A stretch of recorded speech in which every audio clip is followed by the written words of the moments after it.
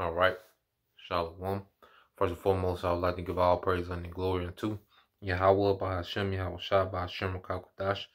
Double honors unto the apostles and the elders of GMS who rule well, teach well, being great examples for his younger brothers. And peace and blessing salutation. Hopefully, like out there pushing his word in truth and in sincerity across the four winds in the name of Yahweh by Hashem, Yahweh Shah. Pushing to get up out of here. Shalom to the hopeful like the believers and listeners whom have came back to the obedience of the scriptures through faith in Yahweh by Shemal Shai.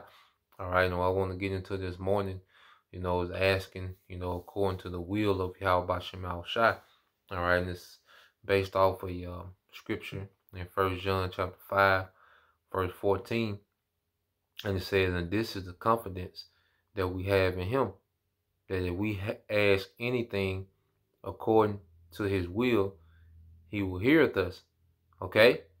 So, what we have to understand, you know, now when we pray, you know, as I say, we always constantly maturing in the faith. You know, we know the things to pray for. Okay? Now we have a better understanding of what to pray for as we mature in the faith. You know, as we go from going being children, all right, spiritual children, spiritual babes, you know, spiritual newborns, okay, to becoming adults in this thing, okay, then we have a better understanding, you know, of what to pray for, okay. So reading again, First John chapter five, verse fourteen, and this is the confidence that we have in Him, that if we ask anything according to His will, He heareth us, and if we know that He heareth us whatsoever we ask, we know that He have the petitions that we desire of Him. Okay? So as we align our life, all right, and our intent more and more with the will of Yahweh by Shemal Shah, when we ask for things, we ask with more confidence, knowing that the Lord is going to give us those things needed. You know, because let's go here. As we always get this is Romans 12 and 2. It says, And be not conformed to this world, but be ye transformed by the renewing of your mind, that ye may prove what is that good and acceptable and perfect will of the Most High. Okay? So as our minds are being conformed to righteousness, our minds are being lined up and put in sync with Yahweh by Shemal Shah. You know, when we ask for things, we're asking according to his will. So we ask for things like what? Faith. You know, we ask for things like mercy. We ask for things like, you know, the resources to get by. You know, we're not here you know, like the prosperity doctrines of this of Christianity, you know, praying for a particular type of here it is, you got a house that's perfectly fine, a car that drives perfectly fine, you know, uh, daily bread, okay, plenty of clothes and different things, and you're constantly, you know, Christianity teaches you asking you for material things, you know, which there's no, no nothing wrong, you know, with asking for something if you need it, you know, if you got you know, a bad running car and you need something better, you know, or either you, you know, you need the resources to get it fixed, you know, but to have a mindset because Christianity has taught the masses to treat uh, the Most High like a genie. And not only that, they do what they want to do. They don't obey anything in the scriptures, but they want, you know, the Most High to be their personal genie. Nah, it don't work like that, man and we understand the bigger picture now, we just need to make it, all right, to salvation. We're going to get, you know, material things. We're going to have those things eternally in abundance. Okay? So we're not, you know, it, like like we was in the world, you know, we were just, you know, so uh, excited about material gain in this society. But now, now we know that we just need to make it. We need confidence. We need to trust more. Like I said, we need more faith. Okay? We need to continue to grow in the spirit. All right. So go here. You know, uh, even you sisters, I know you. You know you're praying. You know for for husbands. Hey, that's within the Lord's will. He's gonna do that. He's gonna give you a man of the Lord eventually, man. You know, in his, in his due season. Let's get there real quick. You know, because you're praying for something according to His will. Why? Because now you're understanding the role of a wife. You, you know, the, the, women are beginning to understand their role and their purpose. They they starting to see it. Okay, and that's the, you know the Lord putting you sisters in the spirit, you know, within His will.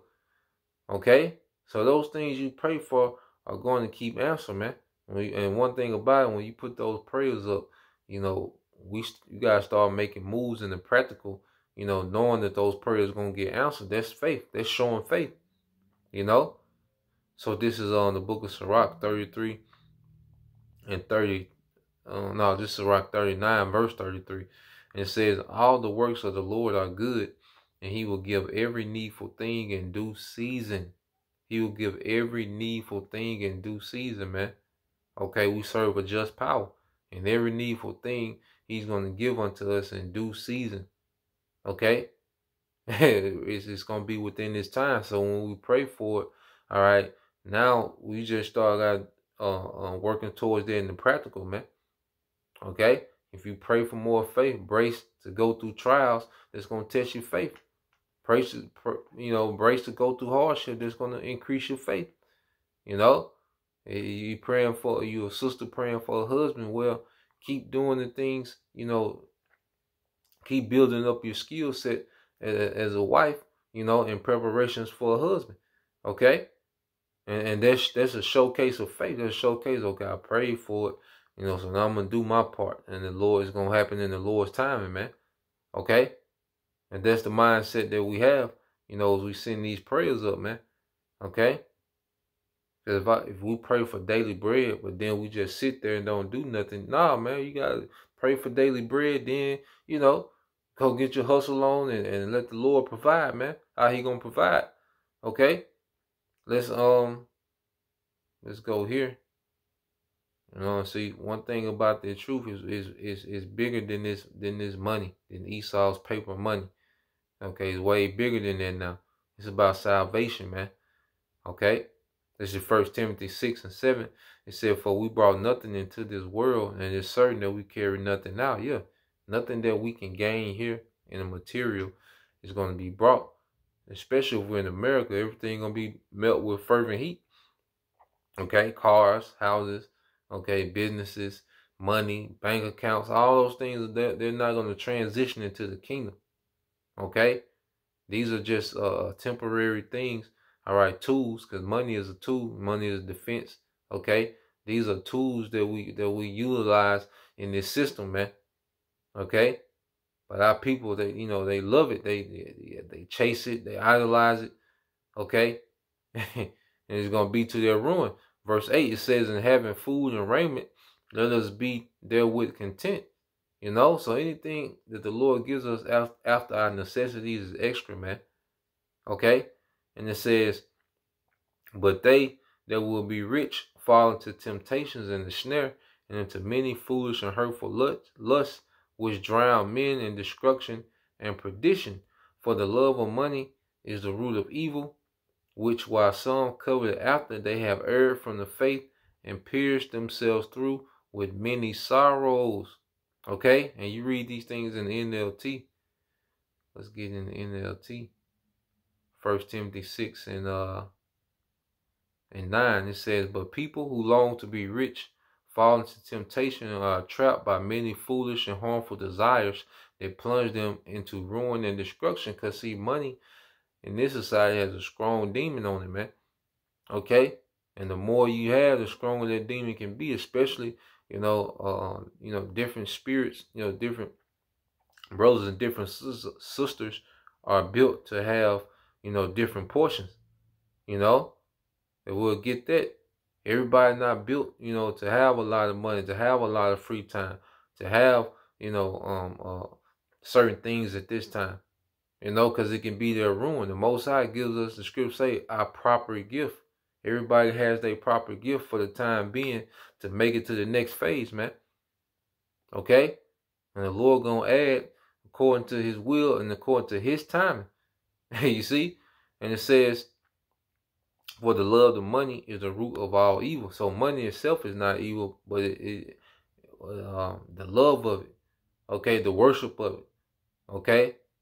men, you know, men and women, okay, neglect morals and you know they neglect standards based on the love of money, man.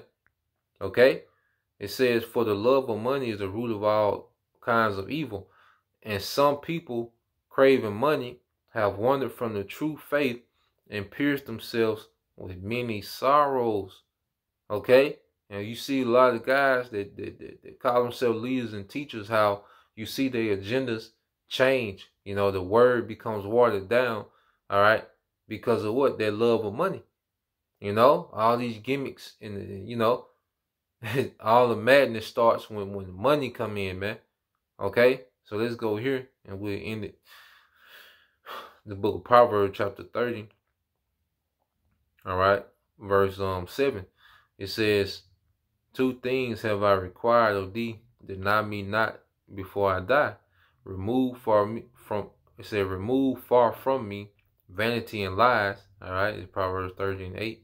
Remove far from me vanity and lies. Give me neither poverty nor riches. Feed me with food convenient for me. Now let's get this word convenient. Okay. It says, feed me food with food convenient for me. You know, and it differs from, from brother to brother, sister to sister. Now you get that word in the Hebrew. It's um hakwa, all right, for convenient.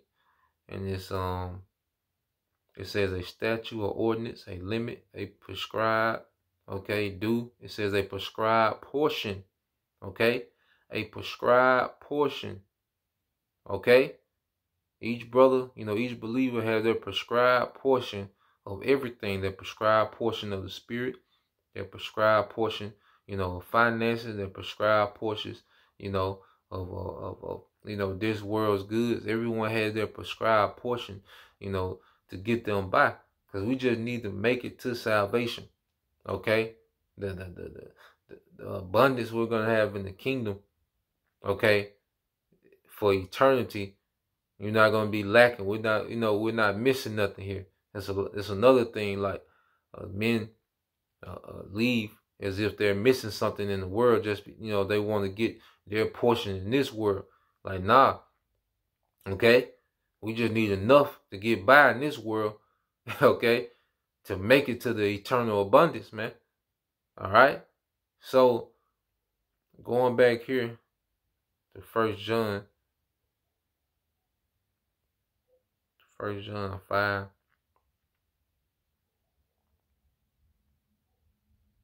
And 14, it says, And this is the confidence that we have in him, that if we ask according to his will, he will hear us. Verse 15 in the NLT. And since we know he hears us when we make our request, we also know that he will give us what we ask for, all according to his will. Okay? So Lord will you, brothers. All right, and you few sisters was edified the next time I say shalom. Kwam Yashala. Abba Abba DTA soon. Shalom.